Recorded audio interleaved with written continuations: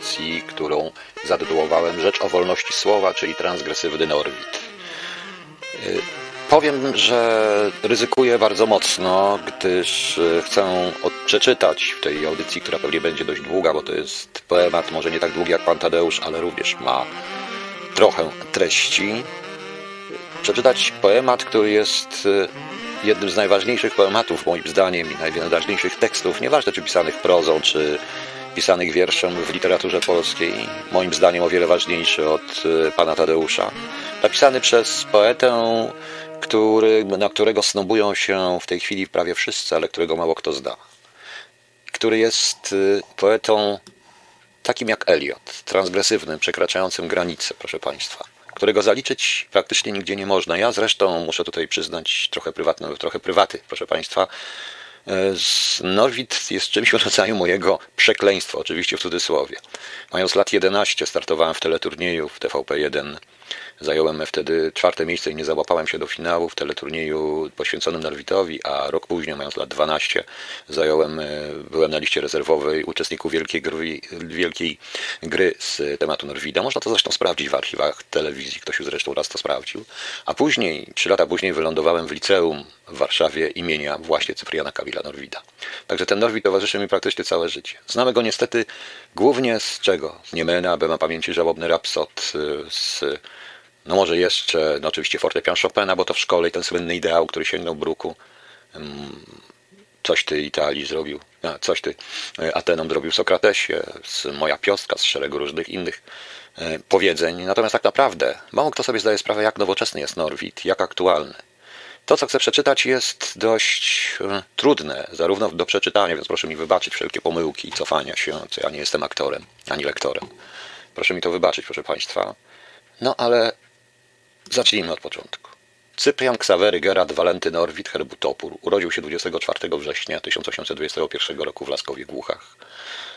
I to wszystko, co chcę powiedzieć na temat jego życiorysu. Nie ma co mówić, jak, w jaki sposób wylądował w Stanach Zjednoczonych, w Paryżu itd. Tak itd. Tak Uznawany jest często przez czterech najważniejszych polskich poetów romantycznych, ale to jest nieprawda. Wielu historyków literatury, czy też teoretyków literatury, literatury którzy mają którzy mają mm, taką cechę, iż usiłują katalogować i tagować praktycznie wszystko, e, zaliczają twórczość jego do klasycyzmu, do parnasizmu. Młoda Polska uznała go za swojego głównego poetę, ponieważ Norwid był całkowicie niezrozumiały i zapomniany w swoich czasach.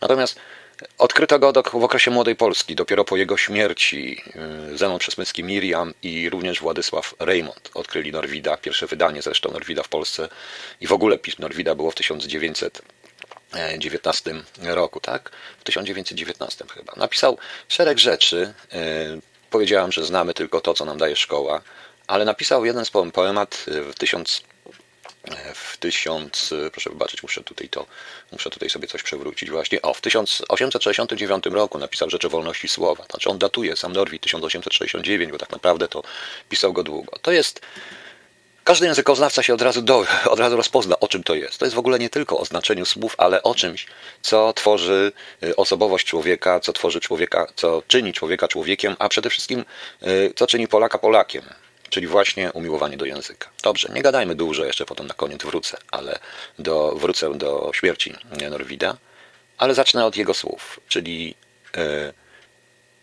czyli od wykładu, który wygłosił, w, odczytu, który wygłosił w, Komitet Stowarzysz, w Komitecie Stowarzyszeniu Pomocy Naukowej w Paryżu w dniu 13 maja 1869 roku. Bo wtedy już zaczął pisać ten temat. Są, którzy uczą, iż dla poezji trzeba przedmiotów, które nie byłyby suche i niewdzięczne. Poezja to, e, poezja ta, co ażeby była poezją, potrzebuje przedmiotów niesuchych i czeka na wdzięczne. Nie należy do mojej kompetencji. Wstęp. Panie i panowie, Dotąd wolność słowa jest tylko zdobywaniem wolności objawiania słowa, jest przecież atrybutem wolności osobistej. Ale o samejże wolności słowa nikt nie mówił. Tak na przykład, jak wolno jest każdemu puszczać się balonem, albowiem to należy do jego wolności osobistej, ale żegluga powietrzna nie jest wcale uzasadnioną. To, co nazywają wolnością słowa, jest dotąd wolnością mówienia. La liberté de dire. Zmieszanie tych dwóch pojęć pochodzi z małej znajomości słowa. Słowa człowiek nie wywiódł z siebie sam, ale słowo było z człowieka wywołane i dlatego dwie przyczyny tam uczestniczyły. Jedna w sumieniu człowieka, druga w harmonii praw stworzenia. A skoro tak wybrzmiewać poczęło, słowo napotkało jeszcze harmonię form otaczających wyobraźnię mówiącego, czyli literę. Miało przeto od razu swój wewnętrzny stan bytu i swoje zewnętrznie obudowanie literą. Pierwszą słowa formą zdaje się być wewnętrzna pieśń i monolog, którego ślady do dziś w pustelnictwie indyjskim spotykają się. Drugą, zarazem dialog i apolog, czyli rozmawianie podobieństwami. Trzecią, chór obrzędowy i tak dalej. Ale że człowiek sam słowa nie wywiódł z siebie i że tam dwie przyczyny uczestniczyły, przeto historia słowa nie może być osobistymi dodatkami jego osobistych w mówieniu postępów. Uzurpacja woli osobistej nad prawami, które ją warują, a nie obchodzą, jest tak odwieczna jak historia ludzi i ludów. Słowo temuż ulegało i ulega. Stąd dwa kierunki i charaktery dwóch głównych kart historii dopatrzyć godzi się. Do epoki chrześcijańskiej siła stawa się słowem i nawet w arcydziełach starożytnych moc głównym jest wdziękiem. Od epoki chrześcijańskiej słowo stawa się siłą jeżeli tamta dochodziła do arcydzieł potężnie plastycznych, wtedy ta właśnie, że przeciwnie dojść do pewnej bezsilności, bez personalizmu, bez bezstronności, do arcydzieła prawdy. Oto początek, dzieje i cel. Prawdziwa poezja była, jest i będzie poniekąd inicjacją dlatego, że może we dwóch wierszach skreślić całą epokę, a obraz i pomnik zbliżyć jednym wyrażeniem. Starożytni tę poszczególne wiersza formę zwali wierszami złotymi. Miałem za zadanie, aby w przeciągu godziny uprzytomnić kilka tysięcy lat dziejów i walki prób słowa, całą jego epopeję dać, pewniki wyciągnąć, wątpienia wskazać, ognie zapalić. Teraz gwoli, skoro się obejrzałem, znalazłem się w koniecznym posiadaniu poematu. Takowy paniom i panom czytać będę miał zaszczyt. Lektury publiczne nie są żadnym nowym wynalazkiem. Starożytny cesarski Rzym je zdał i sami imperatorowie rzymscy udział w nich bierali, nie zawsze najszczęśliwszy wprawdzie. Te wszelako nie były tak zwaną prozą, były wierszem i nie tylko, że były wierszem, ale nawet w ojczyźnie prozy, bo w Rzymie, który swoich rodzinnych poetów wcale nie miał, i tam były wiersze. Głos żywy ma do siebie, że nikt nigdy po dwa razy nie wypowiedział tychże samych rzeczy, tymże samym wydźwiękiem i gestem. Słowo więc, raz rzeczone, ma niepowrotność swą.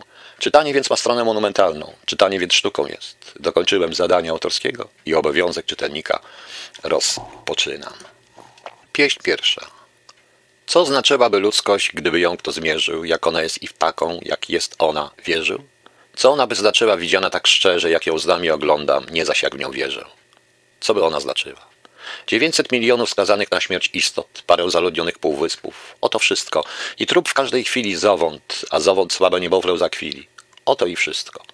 Ludzkość z takowym obliczem, lubo to jej oblicze, nie byłaby niczym, jakby do samej siebie twarzą poniżona, przestawała być sobą, wszelako to ona i to jej własny obraz ten ją zagładza. Ta ludzkość bez boskości sama siebie zdrada, zdradza, aż dopiero gdy w eter opłynie niebieski powraca jej majestat i szkarłat królewski. Aż dopiero widziana jaką była, bywa i będzie to zaiste, jest ludzkość prawdziwa. Nie inaczej z człowiekiem. Gdy dań kto poziera, jak on jest i purpurę mu królewską zdziera, oglądając go lichym od stopy do powiek, jak pyłu garść rwanego wiatrem. Cóż tam człowiek? Ale pył ów odniesion harmonii stworzenia, kiedy atomem swoim w gwiazdę się zamienia i wielka rzecz stąd rośnie co godzina, co wiek, co era, to mówimy wtedy, oto człowiek. A jak z ludzkością całą, a jak z oderwanie uważanym człowiekiem zarówno się stanie i ze słowem to wzięte odrębnie cóż znaczy, niewierny dźwięk i przywieść mocem do rozpaczy, tak niewierny, tak kłamny wewnętrznemu znaczeniu, jak zmarłego by poznać chciał kto po dzwonieniu, lecz tenże dźwięk niewierny dostoją otwarcie w Grecji do roześpiewu, do milczenia wsparcie, do mlecznej drogi proroc gwiazdami w Judei, do litery u Rzymian, Słowian do nadziei. Nareszcie do słów wielkich, co na zawsze nowe, niczyje wszędy własne, nigdzie nie miejscowe. Skądś natknione duchem, dopiero takową zmierzone próbą, wybrzmi ta rzecz wielka, słowo. Najmniej, bo znaną rzeczą lub znaną najbłędniej bywa słowo. Nauk je codzienny, podrzędni i rozlewa jak wodę tak, że nie ma chwili na globie, w której nic by ludzie nie mówili. A jak w gospodarskich zaprzętkach bez końca nieustannie się wody używa niż słońca, taki słowo brzmi ciągle i ciągle jest w ruchu bardziej niż świadomość jego promieniąca w duchu i gdy wciąż wszyscy mówią, mało kto się spyta, jaki też jest cel słowa, jak słowo się czyta w sobie samym i dziejów jego promień cały, rozejrzeć mało kto jest ciekawy, zuchwały. A jednak niech nowolność mowy kto znieważy, ten sam co nią pomiatał, głośno się uskarży i będzie mówił jako, wszak słowo jest wolne. To co pierwy jak kwiaty sam deptałem polne i nad którym wśród licznych zatrudnień hałasu nieco się zastanowić zbywało mi czasu. Tu cóż powiem? I czyliś od tych mnieman oto, współczesnych rozpocząwszy snować mam nic złotą, aż do świtu, gdzie pierwsze są mowy zaczęcia, lub odwrotnie. Sam nie wiem, szkodzą mi pojęcia o człowieku od strony, gdzie blask rajskich progów, zaś od współczesnej strony huragan nałogów, z obu krańców dwie chmury, kierunkiem więc trzecim orfejskim pójdę, którym, choć wątpimy, lecim, a który nieraz w tęczę mieni chmurny temat, by ludzie o nim rzekli, to nic, to poemat. Przypomnę, jak bywało za czasów prawdziwie wieszczych, co zmarłe uczczę, co kona ożywię, lat sto tam ówdzie rzucę, drugie zaś sto minę, idąc za gwiazdą, która nie świeci godzinę. Rzeczy nudne wytoczę, albowiem szanowni poprzednicy, poeci, pisarze wymowni, ośpiewali już wszelki dźwięk ojczystej ziemi, źródło każdej brzozę z włosy zielonymi, wszelaką stokroć polną, każdy liść stokroci, tęczę, rosę i promień zorzy, co je złoci. Także mnie nie zostało, jedno mieć na pieczy, prosty, wspólny interes pospolitej rzeczy. Pieśń druga.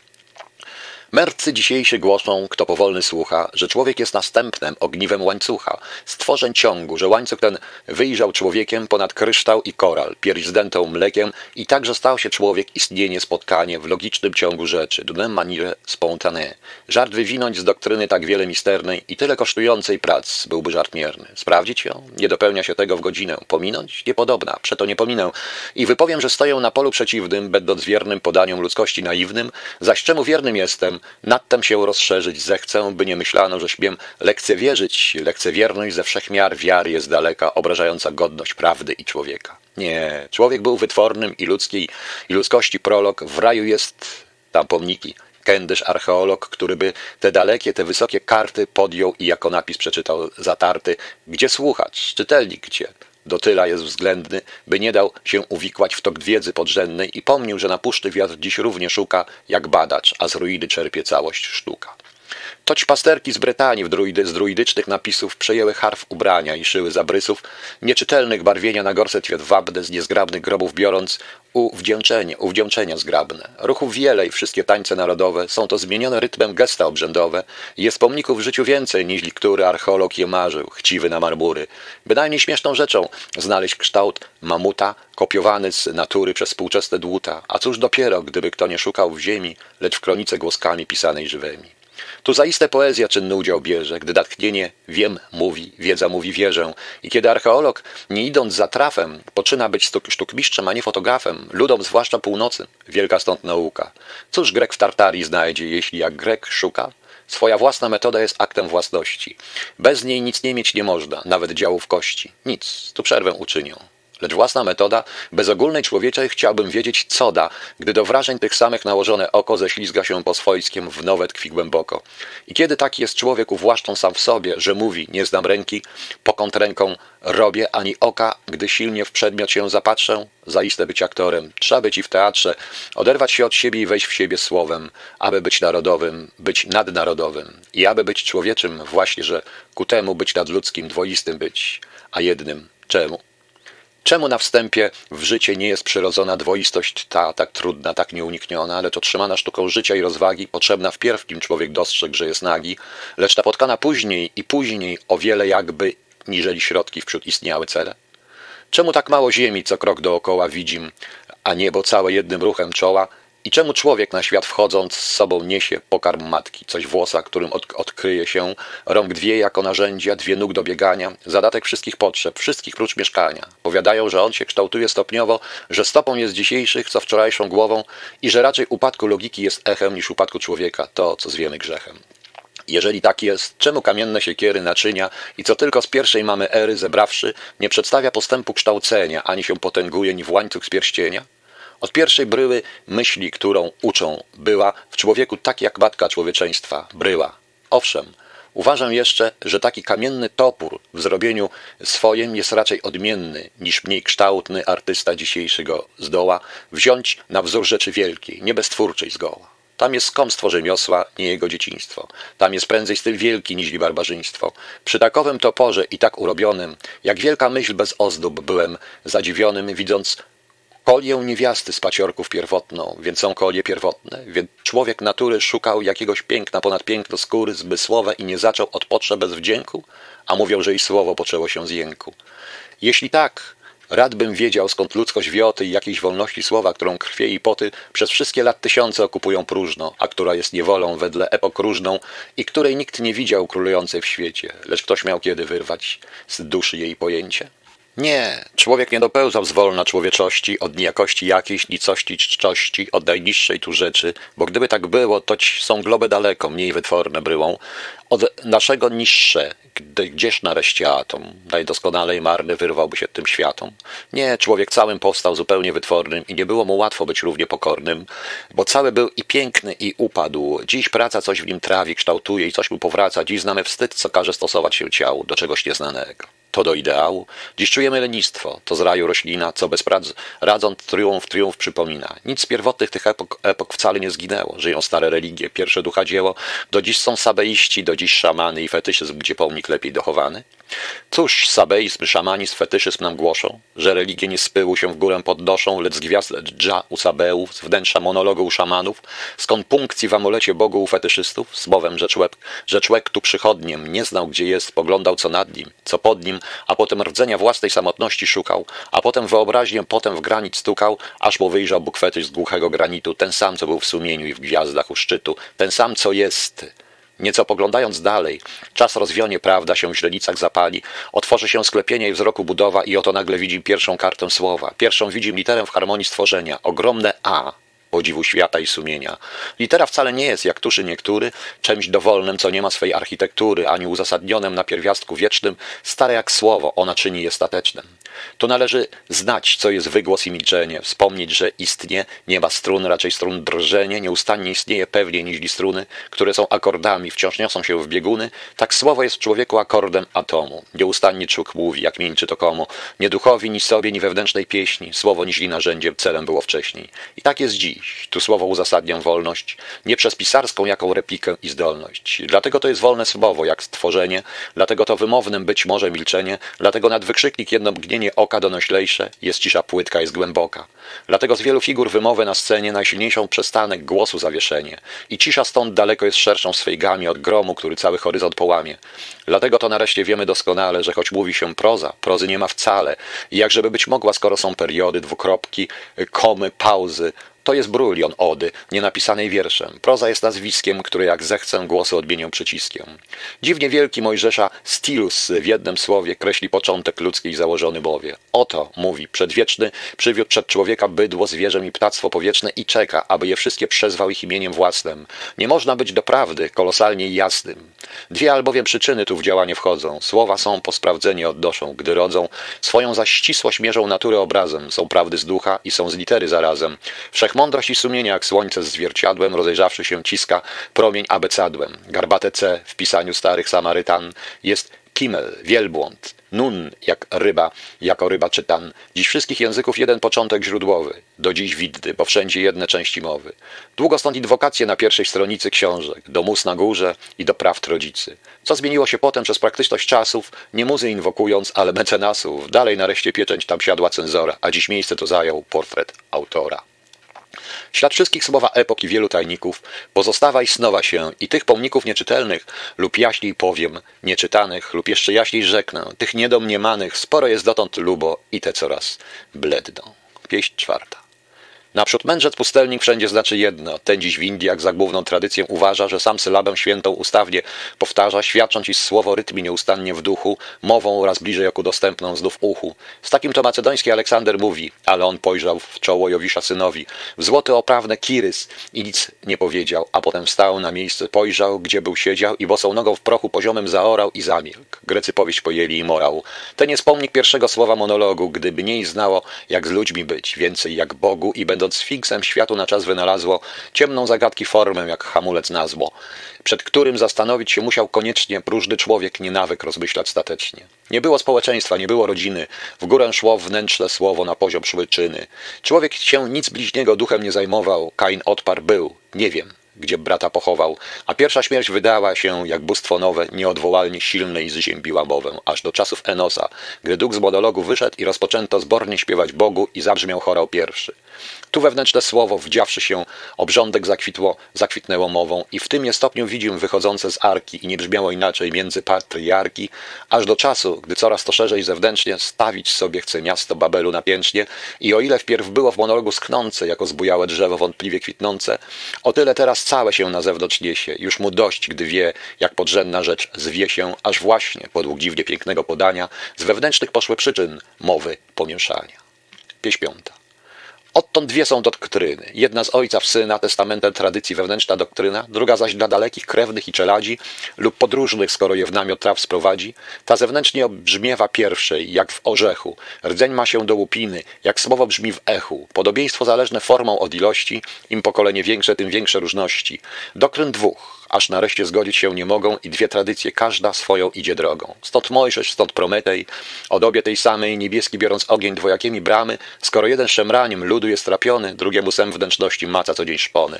Stąd tam, ówdzie są mitów ciągłe podobieństwa, walki też same, cudy, znaki, męczeństwa, które nie wie geograf i chronolog nie wie, czemu jedne, a różne jak liście na drzewie. Mąż czoło pokolenia nie tylko już samym słowem, lecz spadkobierców obcuje z Adamem, lecz ważne miejsce nieraz naznacza kamieniem. Gwóźdź zabija, by świecił stałym przypomnieniem, a szeregi tych gwoździ nieraz rdzą wyrwa, wytarte, inicjowany czyta jak pisaną kartę. Z tego to najwytworniej kształci się w Egipcie taka bała, co do dziś widna w hieroglipcie. Hieroglipto tłumaczy się dawne narycia.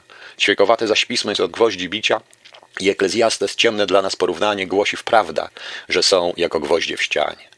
Tuż od, tu doszedłszy od ziarnka słowa i litery, aż domowej pisma i Mojżesza ery, kiedy się z góry takiej obejrzę dokoła, widzę, że świętość słowa pierwszą jest, co woła, celem będąc zarazem i środkiem, zaś dla niej litera jako przestrzeń i czas wśród otchłani, i że jak harfy nie ma, ani w harfie struny, co by nie grała ciągle swoimi bieguny, choć brzmiętych ucho ludzkie nie zda, lecz ocknienie, ptaszyny, popochmuszki, pyłu przerażenie, tak w duszy człeka słowo i tak w dziejów toku, w bieguna globu tego, w świetle na obłoku, we, wsze, we wszechładzie, wszechstronne słowo słowo nieustannym miarkuje się i rytm i śpiewa hozannę.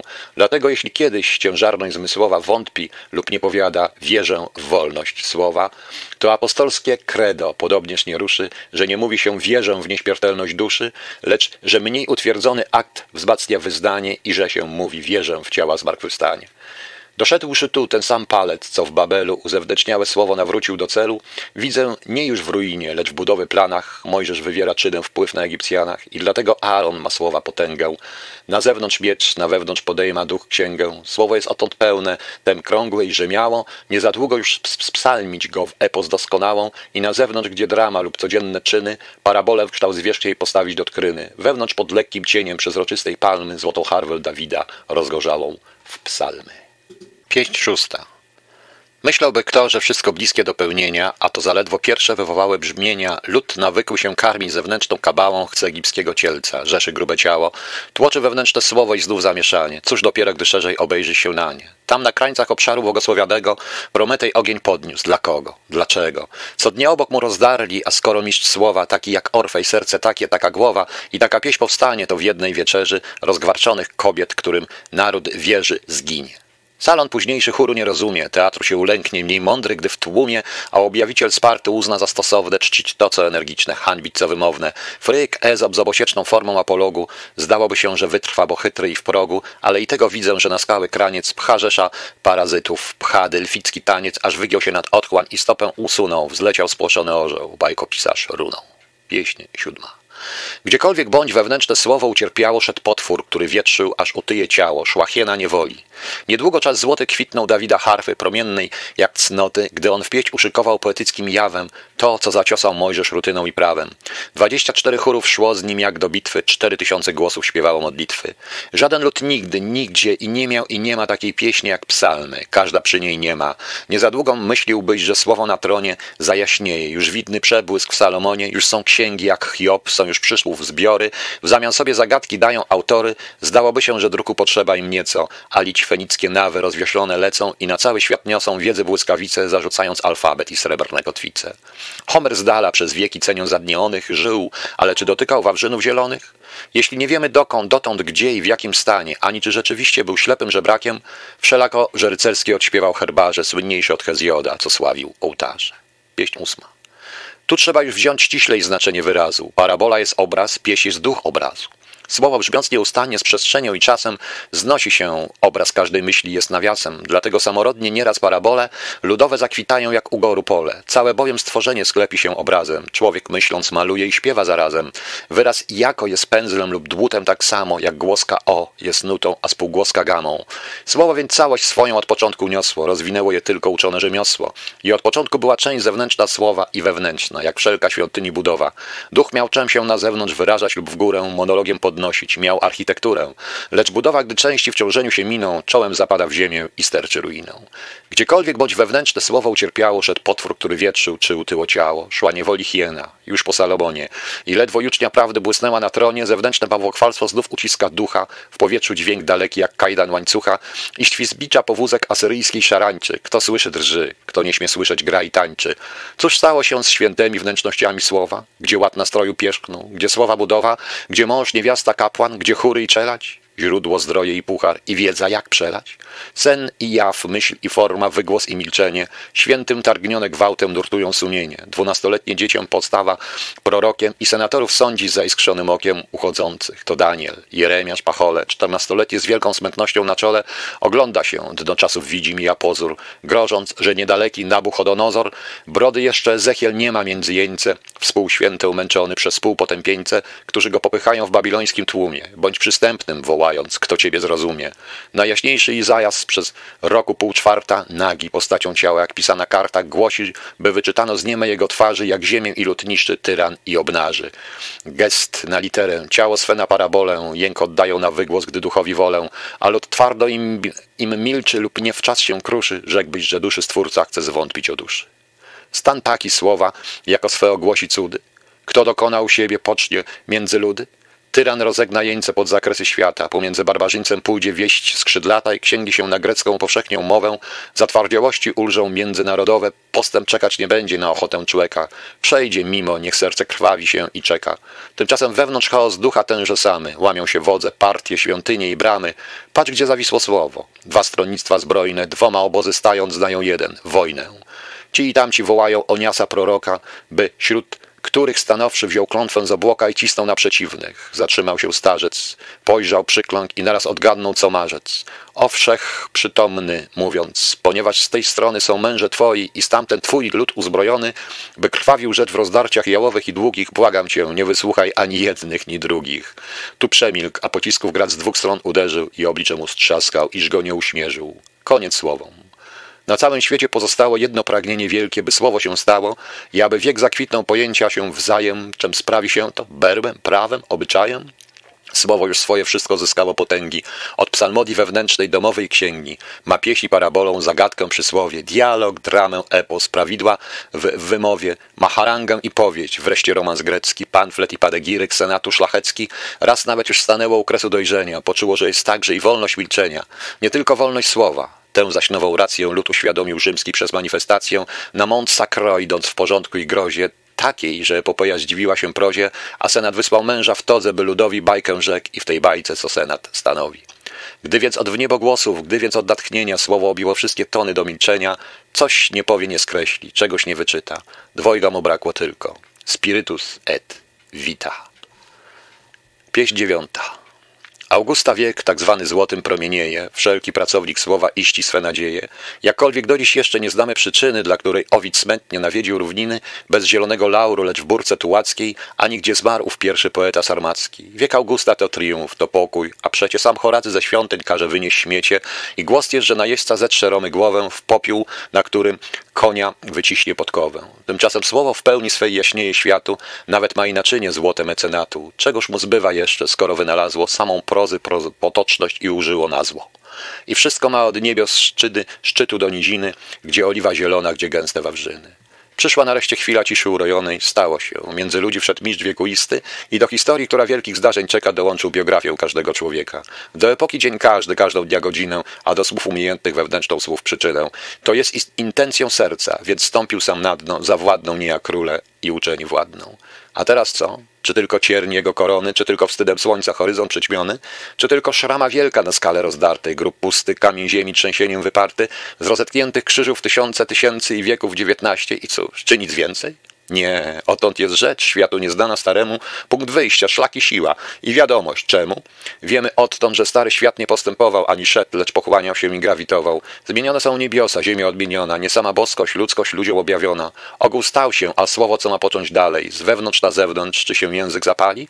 Także usłyszał wszystkich ludów pierwociny, ojców mową zbliżenie tej wspólnej godziny? Słowo każdego już jest po części zbiorowe. Osoba jakaś wielka jest gdzieś w społeczeństwie, czoło ma w gwiazdach stopę czerwoną w męczeństwie. Grek mówi, to i Grecja, powiada Rzymianin, to i Roma, i Polska, wykrzyka Słowianin. Miecza tylko, Mahomet zawołałby we śnie, druku tylko, kto inny zarówno niewcześnie. Miecza tylko i druku, tam i sam przez wieki, wolaliby młodzieńcy wracali kaleki, a twarda dziejów bryła szłaby równym, równym tętnem, wiecznością grożąc silnym, mądrością namiętnym. Słowo już umie człowieka w jeden ogół zlewać, nauczyło go jeszcze razem się spodziewać, poczuć osobę trzecią, co z nim zamieszkała, lecz istnieje punkt wyjścia. Nie sam człowiek działa, a jako ów, co wolno po równinie chodzi, ruchy swoje odmienia, gdy jest z wiosłem w łodzi. I chociaż nie mniej woli, lecz inaczej woli, to się oprze na sobie, to się usymboli i fale gestów swoich podda żywiołowi, spłynie z nim, potem nad nim znów się zastanowi. Tak słowo historyczną przyjąwszy potęgę, oprawiło się w ducha moc i w dziejów księgę. Już w Grecji umiejętnym pisaniem znamienitej ścielono nogą Pawła pergamin rozwity i ołtarze mu w listrze słuchacze namiętni stawić chcieli. Już słowa grom w powietrzu tętni, gdy mążów cały prawie świat ubiegszy stary spór znalazł w Antiochii o literę wiary. I takowy rozstrzygnąć, że sam nie był w stanie. Szedł, gdzie Piotr, Jan i Jakub czynili zebranie i gdzie się wolność stalej niż kiedyś wysłowi, mówiąc, zda się godziwem świętemu duchowi i nam. Oto jest złota wolności korona. Większej nad tę nie było i nie ma. To ona. Słowo wróciło w ducha i stało się całe, w człowieku i w zebraniu równie doskonałe, odkąd przez wieki żadna nie błysła nam nowość, tylko różne języki przez różną miejscowość. Spadkobierstwo przyjmują lub szerzą dobytek, wolność w użycie wchodzi, w prawo jej użytek. Tam, owdzie, jeśli rzuty zbrojnego ramienia mogą przyćmić tę światłość, słońce się nie zmienia. Wszystkie potęgi słowa są wciąż działalnymi, jak wielu strun od niebios napiętych do ziemi. Jeśli gdzieś się gwałt chmurzy, to w przejściu takowym świętość słowa rycerskiem odzywa się słowem. Wnętrzny monolog ciszę uprawią klasztorów, drama chwilowo zmilknie przez doniosłość chorów, lecz gminny żywioł łyska pozornym zamętem. Parlament nazwał się pierw parabolmentem od wyrazu gminnego i wyszedł powoli z postaciowej sprawy, ludźmi, z paraboli. Króle zatargi sądząc pod dębem wśród gminu, zeszli do przypowieści, te do praw i czynu. I oto dziś. Cóż słowo to parlamentarne spełnić ma? Wielkie słowo społeczne ofiarne, trawiące jak świątynia niewidzialna w tłumie, co brak jemu, gdy ludzkość już łączyć się umie i mogłaby nieledwie chórem zabrzmieć tkliwie? Prawda, ale czy umie różnić się godziwie? Człowiek, aby się różnił, że ma zbroję całą, nie dosyć jest, rozdarcie w sercu pozostało. Zbroję czystszą, gdy tenże razem jest znamieniem, symbolem i ser, z sercem całym i z całym sumieniem, ponad siebie sam będąc jak orzeł legionu, srebrny, biały i zimny, choć ma krew u szponu, chociaż gdzie skrzydłem skinie tam wieńce lub włócznie, a nad sobą zawsze w obowiązku spocznie. Jakiś jest bowiem słowa cel i arcydzieło, jeśli nie to, by ludzkość wszelaką przyjęło, a dotrzymało boskość i świeciło astrem złagodzonym wytwornej lampy alabastrem. Ten tylko ma swe serce, który go używa. Ile ono jest sercem i tak się odzywa, ten podobnie z energią całą może działać, kto razem zdolny mieć ją i razem nią pałać. Nieszczerość stąd pozorna, prawda, lecz szczerota, choć jest powietrzem cnoty, nie jest żadna cnota. On jedyną chwilą cnoty triumfalną, gdy wykrzykuje, patrzcie jam, dzielną i walną. Tam się nareszcie różnić potrafi ofiarnie, kto i symbolem zdoła być parlamentarnie. Tem szczerszy, że w całości zdanie wypowiada, nawet gdy nic nie mówi, postawa lub siada, będąc nie tylko ojcem swych słów, lecz i synem, i duchem, i dopiero uroczystym czynem. Pieśń dziesiąta. Jeśli więc tak być mogło, kiedy mówców usta znały już wszystkie formy za czasów Augusta, że stał się głos, co słowo zewnętrzne zasmucił, do wewnętrznego zwróciwszy i kartę przewrócił, mówiąc jak chcecie głosić budujące treści, gdy w głębi serca sami niedobrzy jesteście? Wtedy i dziś, i teraz, i wszelakiej doby, mimo dróg i dzienniki, dwa nasze sposoby, skoro ten dróg to pieniądz, a ten pieniądz siła, jak chcecie, by się wolność słowa rozszerzyła? Jeśli i te wyrocznie, które prawdy głoszą, niewysłowione w sercach niewolę ponoszą, heroizm sam, jeśli jest rolą bohaterów, nie powietrzem i szkołą ludzkich charakterów, czytelnik, jeśli czyta własne o autorze, księgarz własne kartuje, każdy e, zinie, nikt orze. Pokąd co jest na czasie, zwie się dobrem wtedy, a książki się ścigają jak welocypedy. Tamten powiada wolność, ale ruchem nogi łańcuch kryje, co wlecze mu się u podłogi. Ów mówi szczerość, głosem wcale nie skłamanym, lecz ani spytał, czy on w sobie oszukanym. Ciosy ciężkie, na które niech nikt nie narzeka, bo pozorny i znany, gdy widne z daleka. Ale który to pisarz, księgarz i czytelnik, tą się zabawi rzeczą, kiedy to niezielnik. Złożony ze stokroci i tych roślin wonnych, które kwitną u wieszczu w ich rytmach bezgomnych. Kiedy to nie jest żaden z tych złotych pejzaży, gdzie babilońska wierzba nad wodą się skarży, dłoń załamując białą na skronie, nie owy poetyczny dom, ani jesień romansowy, ani zieloność miękka, ani bluszcz grobów syty, tylko wspólny interes Rzeczpospolitej. Pieśń 11. Jako przez czasy wszystkie w sposób wieloraki cierpiało ucisk słowo, cierpi dziś. Lecz w jaki? Tu pytanie, na które pełno, gdy odpowiesz, tyle więcej się wzmożesz, ile więcej dowiesz. Przeto z dala od żółci i wszelkiej przysady powiem treść i świadczące codzienne przykłady, a naprzód, by obłędną myśl prowadzić na tor, zeznam, iż dzisiaj autor i wulgaryzator siły dwie, dwa kierunki, dwa jak wiek, wieki, zamieniwszy na jeden, jest jeden kaleki. Jeden głównie kierunek, żeby jak najskorzej oświecić masy, tanio, jak można, choć gorzej. Choćby zrubasznić prawdę lub uczynić wziętą, zniżyć o sto, to będzie sto więcej pojętą. Zniżona tak zaczerpnie namiętność kału, potem się wyprze ojca swego ideału. Lecz szeroką się zrobi jak pożar, a ilu pojrzy na lunę, rzeknie, co za jasność stylu. Aż śmiech bierze, podobny Anibala śmiechom. Przyznawaj autorstwo komu, pieśni echom i dowiedzieć się, ile wiadomość jest nowa, że nie są jednym słowem dwa odmienne słowa, że przepisarz, opisarz, spisywać, stenograf to nie autor, rzeźbiarzem, że nie jest fotograf, ani mówiąc lakońskim każdy abrewiator, dwie to ręce, autor i wulgaryzator. Autor słowo greckie, ciemne i magiczne, wulgaryzator rzymski, jasne i uliczne. Nie idzie o to, które z kolebki lub trumny, lecz że to są dwie struny i że muzyk umny nie naciąga dwóch w jedną, tylko człowiek dziki, brzdąkający jak Marsjas lub pijany z frygi. Powiadają, że boski mistrz równie był jasny dla mądrych i maluczkich, dopisek to własny, do Ewangelii czterech, nie wiem z której wzięty. Któż mniej od Zbawiciela bywa tu pojęty? I czy on wszystkich uczył równo parabolo? Dziś w Ewangeliach nawet czytają, co wolą a czego wcale nie ma, lecz to tak się czuje, tak czyta, jak się puści i zwulgaryzuje. Autor idzie w ciemność, by wydarł jej światło, wulgaryzator w jasność, by rozlał ją na tło. Dwa kierunki pozornie różne i czasowo sprzeczne jako litera praw i duch jej słowo, dlatego jest dowcipną czyjaś tam nauka, że gdy jedni jasności, w ciemności szuka. Szczęśliwi, którzy z rąk dwóch jedno skrzydło robią, prac widać dokończywszy, zasnąć się sposobią. Lecz kto tworzy, ten wielkim i samotnym losem niesiony jest, gdzie twórczość, więc blisko z chaosem. Dwoma ramiony w cienie nieustanne godzi, a ile rozdarł błyska coś, grzmi, coś się rodzi. To autor. I tak byli wszyscy bez wyjątku do dzisiejszego twórstwa od twórstwa początku. Dlatego jest dowcipną czyjaś tam nauka, że gdy jedni płytkości, ów ciemności szuka. Wulgaryzacji celem jest tak wielce jasność, że ono ginie w cieniu, całą, całą tracąc własność i znika tam, gdzie światła gotowego braknie, łaknąc wciąż jej też słuszna dawać, gdy kto łaknie, ale ona nic sama przez się nie stworzyła. Ona to przemysł prawdy, nie skarpie i siła. Ona, by dziś dogonić zapóźnione kroki, postępu mas przysyła im ukłon głęboki, lecz kłaniając się patrzy na obuwie rzeszy, czy w nagleniu dotrzyma sandał i pospieszy. Cel jej, gesta i grzeczność i jej popularność. I konieczna jest prawda i cała jej marność. Są skądinąd gdzie indziej i nie z tego świata, ku któremu niewdzięczne autorstwo wzlata. Cóż powiem, że te pierwsze, te elementarne prawdy są dziś nowością?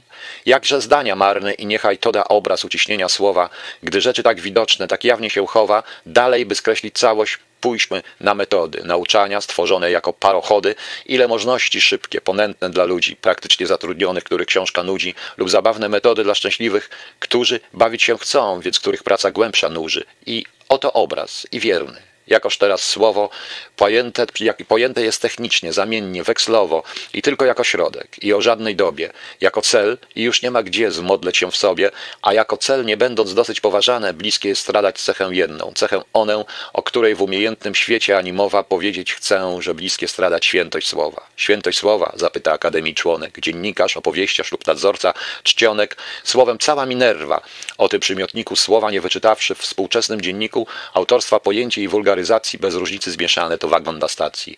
Karmnym wodą i ogniem, co wzajemnie pryszczą, zrzyma się, aż źrenice, co mu czerwono błyszczą. Gdzież nie pójdzie, tłum woła, ani na cal dalej. Tylko potąd, pokąd mu drogę ręką wyrównali. Poniekąd złudna szybkość w temu powszechnieniu, które ogółu nie zna, gdy mniejszość jest w cieniu i choć się większość boskim uświęca tytułem vox dei, ona większą częścią, nie ogółem. Gdyby zaś była onym, to w swojej całości pytam się, co zastrzegła dla głosu mniejszości, który nie ustał nigdy, niekiedy ustanie, z niego to bowiem, z niego jest początkowanie i dnia, którego mniejszość straciłaby mowę, dostałby się kłąb dziejów lub skłamał osnowę, nie z większości, bo promień inicjatyw świta, ani z wielmożnej dłoni, lecz z tej, co przewita. Z trzech przeto stron dziś cierpi słowo i trojako, jako świętość, jak mniejszość i nareszcie jako ogół, który ogółem nie jest, lecz odłamem, tak dzisiaj słowo cierpił jarzmionek łamem. Dopiero ze swej strony rządowe rękojmie karcą wpierw te zdrożności, nim mogą jej pojmie. Stanowiąc prawa tłoczni, co wchodzą w działanie względem płodu, którego tak wątpliwe drganie, Oto jest bezprzesadny skreślon obraz rzeczy. Niech go pełni wypowie, kto słusznie zaprzeczy. Najmniej wszelako rządy lub w ostatku ganię, wierząc świętości słowa, nie liczyłem na nie, lecz chcę, by obywatel czuł u swojej wagi, wargi coś na rządów rękojmię lub niewczesne skargi. Chcę, by pióra dotknięcie, żeby ust otwarcie nie na wiotkiej się prawo osadzały karcie, lecz same niosły z sobą umocnienie swoje. Od pierwszego w świat kroku, jak Minerva zbroję. Widzę, że skoro wolność słowa jest w ucisku, to co jej wzięto, cynizm daje pośmiewisku. I ironia to bierze w opiekę macoszą, mówiąc, nie zjeśli prawdy, niech poświst jej znoszą. Zaś cynizm ma poważną przeszłość i ma szkołę, starą, jak to, że dzieciom świat przychodzi gołę ani zapomnieć słuszna, iż wykwitnie owe myślenia, co korony nosiły laurowe. I stopę miały złotym, promienną koturnę, musiały się gdzieś spotkać z czymś prostszym, mniej górnym, i że cynizm w ateńskiej wiedzy Panteonie był Herkulesem. Ci błądzą, co mają ironię za zło ludzkiego serca. Ta lewica marzeń niekoniecznie stąd idzie. Jest ironia zdarzeń, jest ironia czasów. Obie się nie godzą. Z woli serca jednego, ani w jedne godzą. Prawda, że rząd nie może być palcem wytykan, że nie znosi działanie ustawicznych szykan i że stworzeniu wstrętną jest języka żywość. Cóż, lecz cóż lepsze? Czy głucha nie ma podejrzliwość? Zimna, jak plan powierzchnia, nim bałwany wstaną? Podejrzliwość czemże jest? Milczącą szykaną. Nie, znam ja coś gorszego nad uśmiechy krzywe, nad cynizm, nad ironię. Znam serio fałszywe. I gdy byłem w Nepruno, gdzie łaźnie Nerona wypłukuje z wiszarów fala zapieniona, bijąc tak nieustannie i z wielkim spokojem obłamuje mozaiki i ciska jak swojem różnobarwnymi głazy i ciągle je ślini, pianą i zaokrągla i równymi czyni i jak kulami rzuca ten tyle potężny żywioł, jak malec jaki lub kto niedołężny, a pomyślałem wtedy, że fałszywe seria buchem tych fal, że kolor morza jest Liberią i że to społeczeństwo jakoś niewolnicze Bawi się tu, więc czyni, co się jego tycze. I odszedłem od brzegu morskiego. Nie chciałem ironii, ale ona szła jak cień za ciałem i tarzała się w piasku, gdzie stąpiłem nogą, jak padalec stała się obuwia ostrogą, choć ani mogłem myśleć o niej, ni myślałem, tam, gdzie się stokroć łatwiej spotkać z ideałem. Inny przekląłby może, jam wielbił te słowa psalmu. Naśmieje się z nich kiedyś sam Jehowa i poznałem, co to jest ironia zrządzenia, które nie wyszło z serca ludzkiego, ni chcenia. I wspomniałem to serio fałszywe, okrutne, gdy ludzie prawdę widząc czczą kłamstwo wierutne, niewolniki tych, którzy dzierżą i zgnębionych, nie śmiejący nic stworzyć, pyły form stworzonych, służebni zawsze, zawsze żadni, czy ich słowo przeczy lub twierdzi. Równie krągły jednakowo, bo myślik jest tym piaskiem brzegu, który psuje formę swoją z tym kształtem, jakim morze pluje. Pieniąc się i popycha stopą fali białą, ten proch jak księgę, jaką pustą i zbutwiałą. Pogardziłbym i zmilgłbym, czy serio takowe, gdy jak wąż najedzony oślini ci mowę, a społeczeństwo jemu więcej niż przyklaśnie, bo przemilczy lub w słońcu podglądając zaśnie, jak dulcinea silna, leniwa i czerstwa lub ogół w asocjację zmieni przeniewierstwa i między wszystkich rozda po cząstce nałogu, żeby się wydać pełnym społeczeństwem Bogu i krągłym i całym, czy takowe serio, które by niebo okryło swoją liberią i zapięło na guzik cenowy księżyca lepsze jest od ironii i pewnej oświeca. Czy takie serio, które od wieka do wieka zjedna sobie na zimno genialnego człowieka, a potem go utuczy mową pogrzebową i postawi mu grubą figurę brązową, na której ptak wypocznie blusz przejdzie do niej? Czy serio takie wiele czulsze od ironii? Wszelako taki ogół, co tak się osklepi, nie ironia, ni cynizm wybudują lepiej. Jedna i druga istną, nie będąc przyczyną, trwają tyle, ile są społeczności winą. Lecz któż nie mi cokolwiek zacnego postawi, nikt choć nie mało złego i gorzkiego strawi. Gdzie przeto całe trzeba sklepienie rozpękać, gdzie przeto wolność słowa musi w poród stękać? Tam to jest u samego roboty poczęcia. Pytam się, kto przymiot swe zachował wzięcia, czyli wiedza, czy talent, czy wielka wymowa. Nie, tam charakter człowieka, a więc świętość słowa. Pięć dwunasta. Jak przeto czyni owy budownik katedry, że nie pierwszej związuje na poddaszu cedry, nie obleka ich blachy tarczą, lecz odwrotnie, działa w głębię się mając staczkami samotnie i aby wzniosłe stawił, grzebie pierwej w ziemi, a potem mur utwierdza cegły czerwonymi, powtarzając zasadę budowli pomału, nareszcie czaszkę sklepi z okiem bez kryształu, acz w zaciosach ciąg trzyma jeden i ten samy, od posad do kolumny trzęsącej liściami, w sklep idącej gałązek nerwy, aż co dalej stawiąc, gdy się już wszystko skostni i ustani, na jeden raz w ostatnią ujrzawszy wieżycę, Całego gmachu obraz w niej trzyma jak świecę i zapala u słońca blach rozmaitością, strzałem wieży, jakoby duch błysnął nad kością, tak od świętości słowa rzecz snować poczęta, zestrzelona w charakter staje i jest dopięta. Człowiek, który na wstępie nieustannie mówił, milczy i pisze naraz, gdy się zastanowił, naraz milczy i pisze, bo zastanowienie ogółu jest objęciem, więc jest określenie, więc to jest forma, przeto litera i słowo z wewnątrz na zewnątrz całą zakwitnęły mową. Aliś, gdy słowo w ślepe zmieniono narzędzie, zginął plan, opuszczono rusztowań krawędzie, pomieszane wewnętrzne znaczeń słów przemiana i ruina nim Babel była zbudowana. Dwie są tradycje odtąd głównie rozpierają, poufna i zewnętrzna. Kasty tu powstają, ale zarazem pismo i ruch dramatyczny, pełny, gdy równie święty, o ile praktyczny, przełamany, gdy praca wewnętrzna zaniedbaną lub w kajdany okury, okuty, gdy ta zapomnianą. Odtąd znów świętość słowa przez prorocze usta odklina, co zakleła nicość lub rozpusta i szeregami ludzi ukamieniowanych pozywa świat do źródeł przed stopy rozlanych. Aż gdy ostatnią kroplę rozetrą podpiętą, woda się w krew zamieni, nie będąc pojętą. Nareszcie słowa świętość w majestacie całym, gore, lecz nie zewnętrznej głośnym ideałem i jeśli spostrzeg pierwej świat jest zwyciężony od wewnętrznej zarówno jak zewnętrznej strony. Równowiednie się słowo stanowi i czyta, tworzy charakter, coś jak spiritus et vita i siłą jest, jak pierwej w świecie starożytnym, siła się tylko słowem mieniła zaszczytnym i wielkie charaktery, słynne przez klasyków, winne wielkości pom pomiar ciszy niewolników. Odtąd mówię, charakter nie jest już wypadkiem cudzego upodlenia, jedno prawdy świadkiem. Parabola wraz stręczy rękojmie zbiorowe harmonijnej dyskusji i z błędu wymowę czyni, zaś skutni daje dialog bogaty, z uniesień deklamacją. Tu rozejma światy, przez dany cel niskiemu światu niskie bierze i podnosi jak słusznie uprzężone zwierzę, zawiść na bodziec mieni, zazdrość czyni biczem, samej siebie chełpliwość z krzykiem jej zwodniczem, zamienia na te gzymsów wyskoki, co same są nic, lecz arcydzieło ubierają w ramę i nie widząc go służą mu, a sobie radę dają, dmą w pełność własnych kształtów i w złota paradę. Zło zaiste, że w dramie słowa rozwinięte i strawione jest i gniewu oście niespołknięty, mąż co naprawdę stoi jako heros nagi ma już wszystko, gdy dość ma czasu i odwagi. Takowa to oś, skoro wzięła utwierdzenie, Stało się w dziejach miejsce na miejsca widzenie, wołające w czte wetery proroczego ducha, miejsce pewne, garść ziemi, dotkliwa i sucha, stąd graniczność, stąd ludów przystanki i mowy, konieczny bezinteres międzynarodowy, ciała nowe, nie z bioder samych gór powstałe, lecz i ze słów, o ile jaśnieją dojrzałe. A kto by mi zaprzeczył doniosłości słowa i że nie wstaje przezeń istotność, istność narodowa, ni stworzyć to parlament, co historia zdolny, ten wszystko może umieć i znać prócz, że wolny. Nierodzimość to bowiem języka zrobiła w Ameryce parlament, ale słowo siła, tworząc świat cały nowy jak niebieskie ciała, za pierwszych, za dni pierwszych, gdy twórczość byty wymawiała, nie język przenajczystszy genezą korzeni Waszyngtonowi orła dał i garść promieni, lecz ten, co ze wszech figur i ze wszech przymiotów, ze wszystkich tkań, ze wszystkich uciszeń i grzmotów czyni ogromną aurę wolności sumienia, wysokość sfery słowa, niewartość korzenia. Zarody i roślinne języków wartości próżna jest, gdy wzajemnie ściągają zazdroście. Żaden sam z siebie nie był i nie jest dostatni, dziś wziętym ten, co szczegół kreśli akuratniej. Skoro o pracę idzie i o krajów miedzę, głębszy stanie się wziętszym, gdy pójdzie o wiedzę.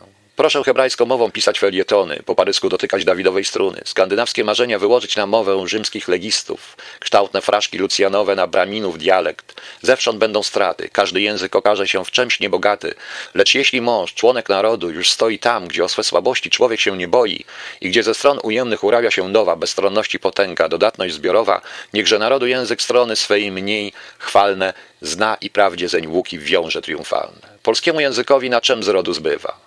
Na literze. To jego strona jest wątpliwa nie na słowie, ni słowa duchowym bogactwie, ni jego włóknach srebrnych, raczej na ich tkactwie. Litera u nas słusznie nie była pojęta, może Achilles winien, lecz to jego pięta. Litera na rzecz była uważana szkolną, kiełznającą umyślnie, nie bezwłasnowolną. I ani jeden głos nie podniósł z otwartą myślą, że ona częścią słowa równie wartą. Do dziś zaiste wyznać trzeba, choć boleśnie.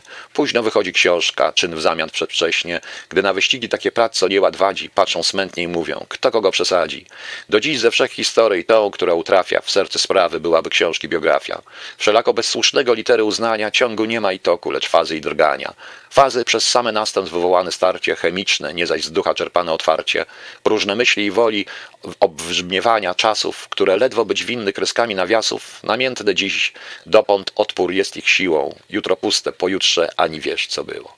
Tknąć możesz bez litery i bez jej uznania, ale dać nic nie zdołasz, ona rękę skłania. Ludy chociaż mniej zdolne, choć płytkie natchnieniem, skoro literze wierne zgłuszą cię swym cieniem i przejdą mimo twoich uroszczeń, bo one dawać mogą, nie tylko wskazywać koronę.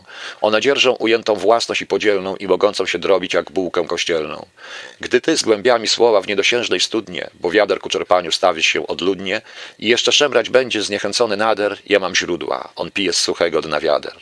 Moc miejmy obejrzenia się na braki, które ujemne będąc kreślą całości naturę i są jakoby twórczość, twórczą narodów pokorą. Pozornie krzywdząc one dlań skarbią i biorą. Z rodu rzekłem polskiemu językowi zbywa uznania, iż litera jest ciągłym ogniwa i że jakkolwiek jasno każda perła świeci, przestawa być litanią różaniec bez nici.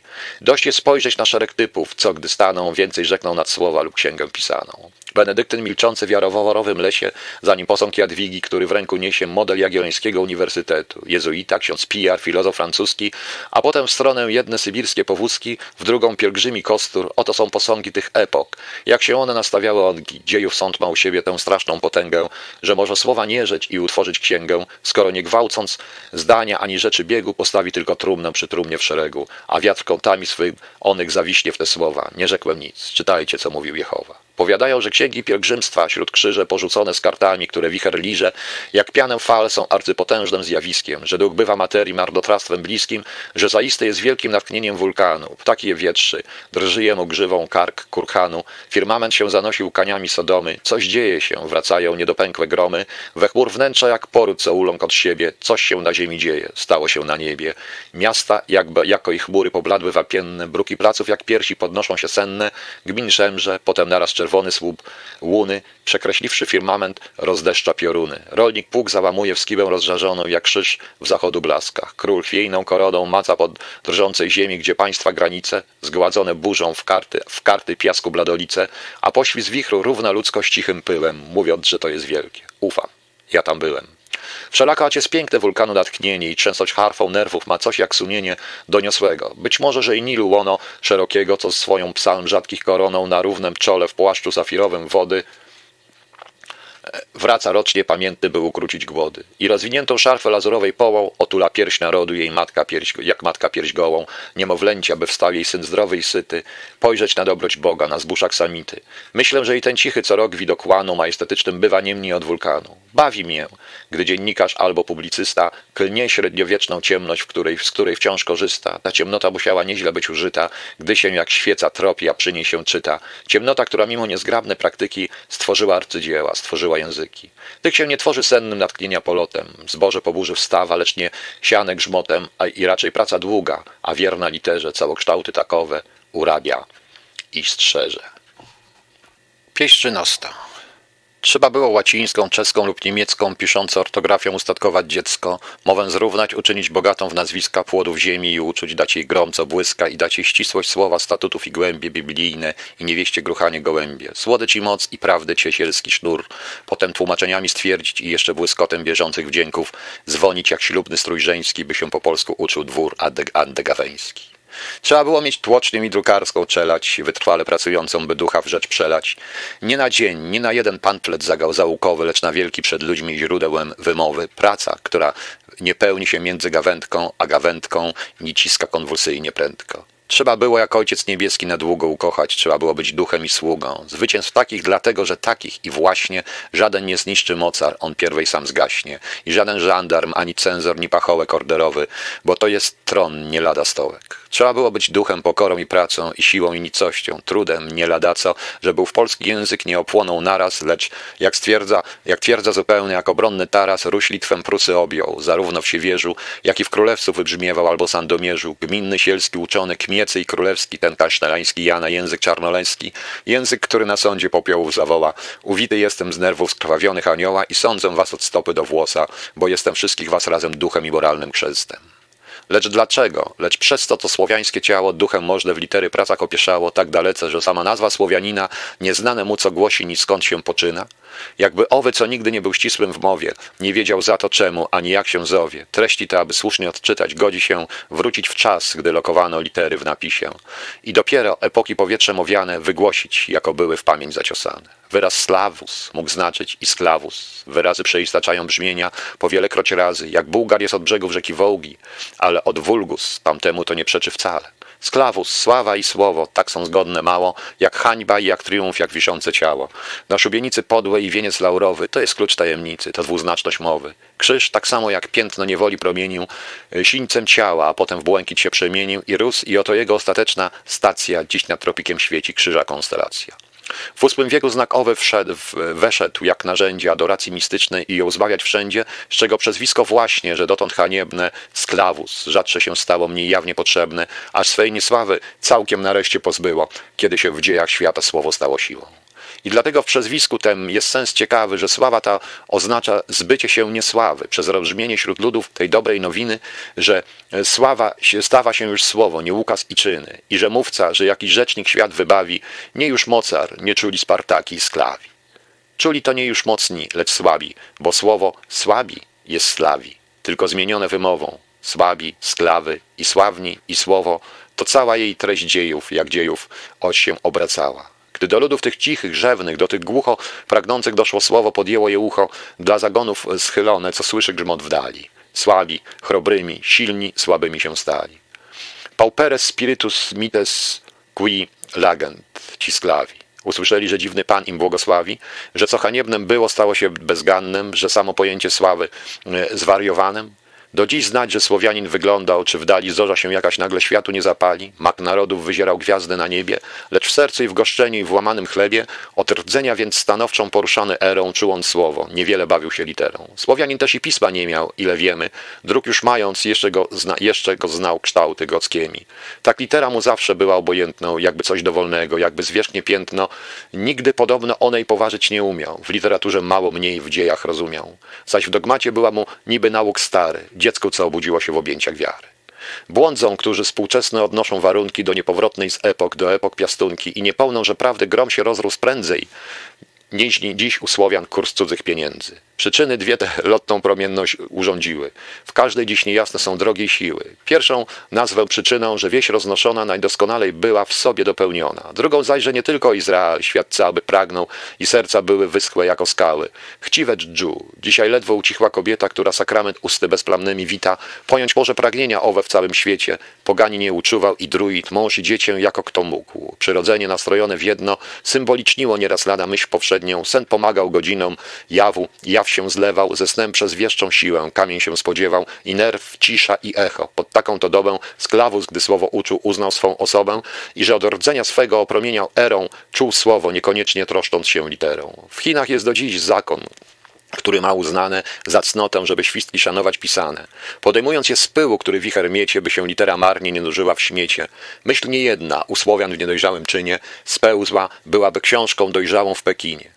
Dlaczegoś zawsze Chińczyk ten sam jako wieczność dla owego, u Słowian ludna niestateczność? U Chińczyków stąd idzie w rzeczy najdrobniejszej staranne dopełnienie lubą zapał mniejszy. Prace ich do flamandzkich podobne wyrobów, mimo różnicę pojęć i zapas sposobów. Nieraz się księgozbiory w Polsce podnosiły, lecz jak twierdze obronne, nie jak wczesne siły. Praca litery nigdy nie była jak funkcja, ortografia wątpliwa, mętna interpunkcja. Do dziś terminologia obca lub uboga, owoc niedbalstwa głośno składany na, na wroga.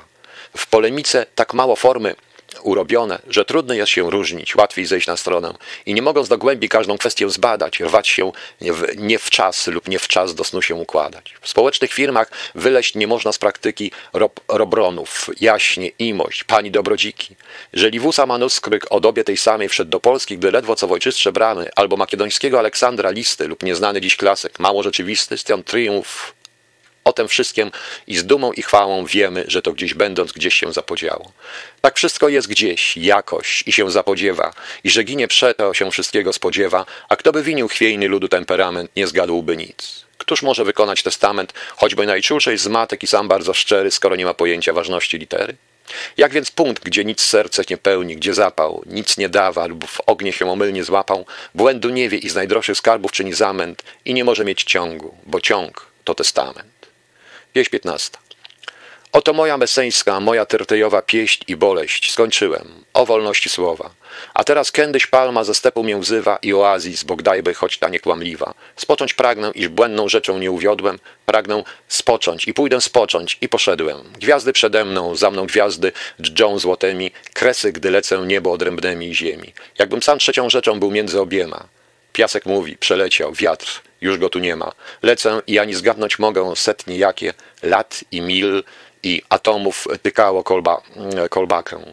E, pianę dzierżganą białą, ni drogi tak wiele. Ubiec musiałem prawie, e, prawe upatrując cele. Porzuciwszy świat na dwie partie rozłamany, między tytany szały i flegmy tytany, sam przez pustynię lecąc wybladły, że prawie litowały się mego pragnienia żurawie i pluły mi dziobami wilgoć, a ja dalej pędziłem, by mnie bliżej bliżej sucho, nieże bliźni sucho nie żegnali, by mnie zbył reszty serca pierwej, aż się cegły nad trumną zaczerwienią i śmiłość dostrzegły. Z dala, z dala, nim stopa me, me dotknęła piasku, za, zawołałem sam. Talmud przy księżyca blasku. Kolumn tysiąca więcej widząc, których chóry szły tam i ówdzie, kiedyś w myśli architektury, co gdzieś albo istnieje lub stała się siłą myśli ludzkiej i widzi w niczym jak coś było, i było cicho pośród ruiny ogromnej, wkładającej na niebo profil wiekopomny, cały szczerby swojemi jakby się o ramię Boga oparło czołem miasto, gdy się złamie. Patrzyłem i wydziwić się nie mogłem onej całości rzeczy, w całości ruiny zmienionej, pięknej ogółem, który powstał ze zniszczenia, z potrącenia, zdeptania i z lekceważenia, gdy rzędy kolumn, jakby skamieniała lira, niewzruszenie, a ciągle śpiewały palmyra. Księżyc stał ze strun owych skamieniałą kratą, blusz dopełniał gdzie linię czułej zbyt szczerbatą i jako dłutem ryty szedł przez blade łomy, lekszy od ornamentów równie nieruchomy nakreślony harmonią tak, że niepodobna by zeń bez szwanku gałąź odprysnęła drobna, kto zaś nie barbarzyniec, ten w ruiny tłumie, bluszczu nie tknie lub całość mniej ode nie rozumie. Całość, rzekłem do wnętrza ducha i struchlały, dodałem, taka, że jej nie wypowiem całej i nie wiem, czemu ręką chciałem kamień drobny podjąć, lecz nie jak fragment wydał się osobny palcom moim. Zadrżałem i ramię cofnąłem, czując, że część jedną rzeczy pełnej wziąłem i natychmiast szepnęła do mnie myśl ostrożna. Patrz, Oto i ruinę nawet popsuć można. A jam jej odpowiedział, zaprawdę ruina jest całością i nową twórczość odpoczyna? A patrząc dłużej rzekłem, jest kres taki, który nie ruiny już tycze, lecz architektury. I począłem się w duchu tą myślą dziwować, szczególniejsza, że można ruinę zepsować, że więc dzieło zniszczenia i dzieło tworzenia harmonijnie się kiedyś łączy i z pierścienia. W tym momencie dotknąłem palcem zmartwychwstanie i wymówiłem słowo jestem, niespodzianie i chciałem ręką, w, ręką wtóry kamień podjąć z ziemi, lecz zdał mi się ogółem łączny ze wszystkimi. Zadrżałem znów, gdy orzeł rzekł jak trąba grzmiąca. Kto tu trąca ruinę, ten principium trąca. Odtąd już w jakąkolwiek przeniosłem się sferę, zrozumiałem całość słowa i literę. Proszę Państwa, swój poemat y, Norwid zakończył przyczynkiem y, do rzeczy o wolności słowa, którego już nie będę Państwu czytał. To jest jego uwagi prozą, napisane w maju 1891 roku i tam jest takie zdanie. Tylko Bóg i parlamentarny system Europę dzisiejszą ocalić potrafią od upadku w antycywilizacyjny kataklizm. No cóż, prawdopodobnie się to nie udało. Proszę Państwa, w przytułku, w przytułku świętego Kazimierza w Vivre pod Paryżem nad ranem 23 maja 1983 roku umarł. Jego ostatnie słowa miały brzmieć przykryjcie mnie lepiej. E, zakonnica prowadząca, jedna z zakonnic prowadzących przytułek spaliła dwie skrzynie jego zapisków. E, nie wiemy, co było w tych skrzyniach. Dopiero kilka lat później odkryto Norwita.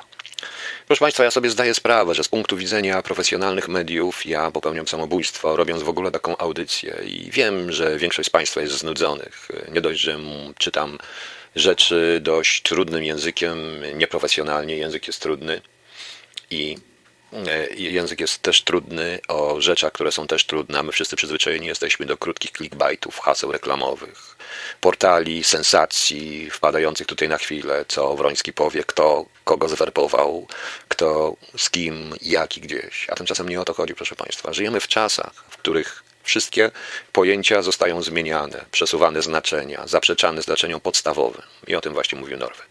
Norwid. A ponieważ, jak wszyscy pamiętamy, i każdy ze szkoły chyba czytał ten słynny wiersz Norwida, w którym kończy się e, jękły głuche kamienie, cześć się późny wnuku. E, jak to było, ciesz się późny wnuku, jękły głuche kamienie, ideał sięgną bruku. No to teraz na sam koniec właśnie ten ideał. Dziękuję Państwu. Jeszcze powiem że nie wiem, czy ta audycja będzie w archiwum, czy nie. E, niewątpliwie Wiem, że chcąc stworzyć radio, które, czy medium, które będzie oglądalne i czytalne, takich rzeczy nie można robić. To jest sprzeczne. Każdy zawodowiec to Państwu powie. Ale cóż, ja nie chcę być zawodowcem, ja chcę być po prostu normalnym, myślącym i zastanawiającym się człowiekiem, zdającym potęgę słowa i znaczenia podstawowe tych słów. I dlatego to e, przeczytałem. Także kończymy tym ideałem, który sięgnął bruchu. bruchu. Chciałbym jeszcze podziękować wszystkim artystom, bez których by nie było tej audycji, którzy mi upiększyli ją swoją muzyką.